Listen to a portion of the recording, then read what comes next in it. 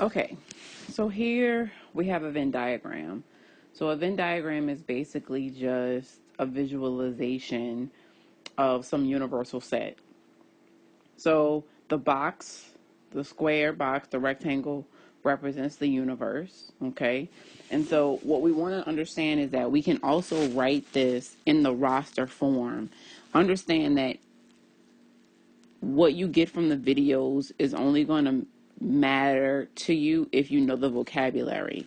So you have to make sure that you know the vocabulary. So um, what we want to do is we want to look at the roster form. So that's when you have your elements listed out, separated by commas.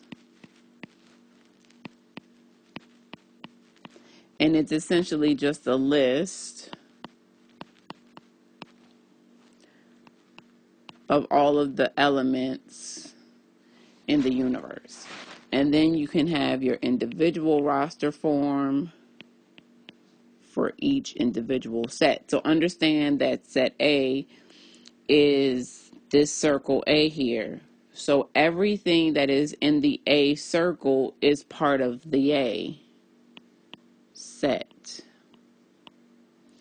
So then we have B, and so we look at the B circle, right? So the Venn diagram is a visualization of the set, okay? It's a visualization so you can see it, all right? So we put in our roster form. Okay, so and then we have two elements, the 18 and the 19, which are not part of set A nor set B. Okay, so we go through, we have the complement.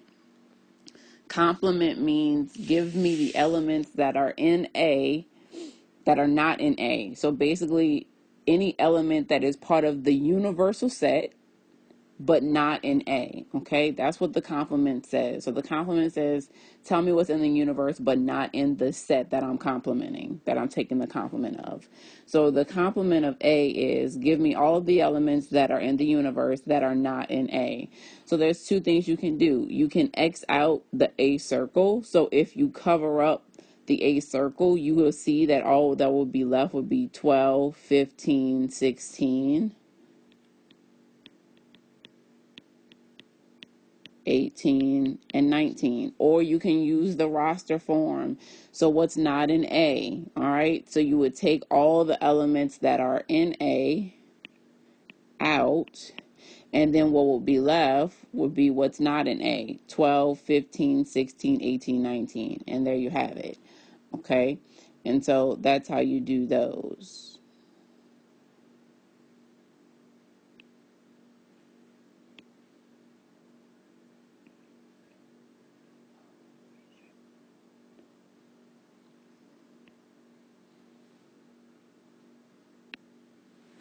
Then we have the union. So the union, A union B. So the union says bring together everything in A with everything in B. So it's a uniting of the sets, okay? So whatever you're taking the union of, you're bringing all of those elements together.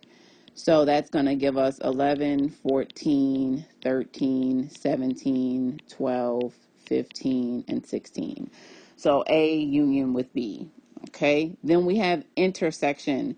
Intersection means A intersect B. Tell me what they share, what they have in common, the and of them. And union is the or of them, and complement is considered the not of them.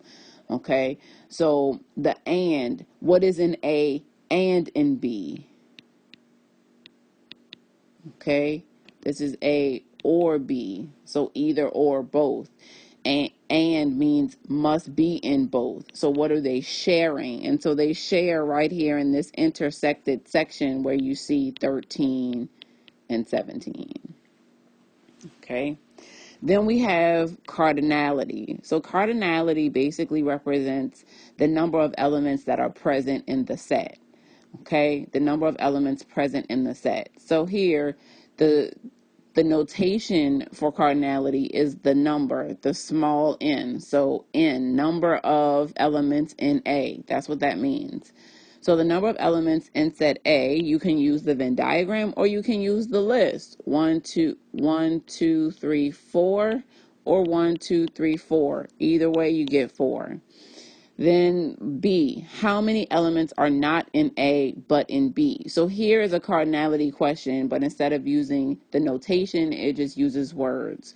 How many elements are not in A but in B? So we don't want anything that's part of A. I'm sorry, it's not not. How many elements are in A but not in B? Oh, I totally messed that up, but that's okay. You'll be fine. So, how many elements are in A but not in B? So, who's in A? 11, 14, 13, and 17. But they cannot be in B. So, 13 and 17 are also part of set B. So, we cannot include those. So, how many elements are in A but not in B? Two. And those two elements would be 11 and 14 if that's what we wanted. Okay.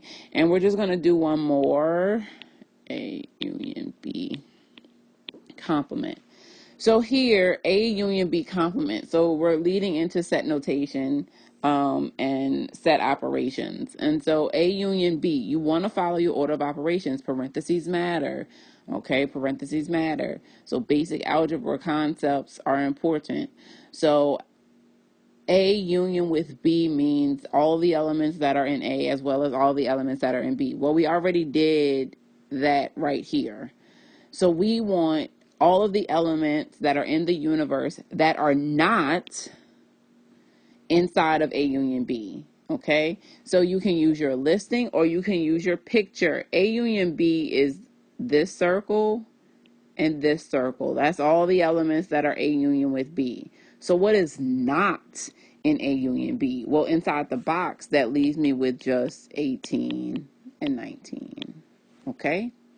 And so that would be your answer for that set operation. So you have problems that are going to use cardinality notation and say how many elements. That's giving numbers.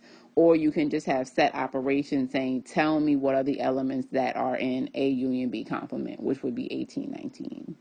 Okay?